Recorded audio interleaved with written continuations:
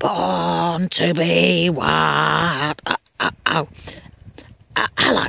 It has come to my attention that my recent gritty, realistic cinematic presentation, Road to Nowhere, has upset one or two of you.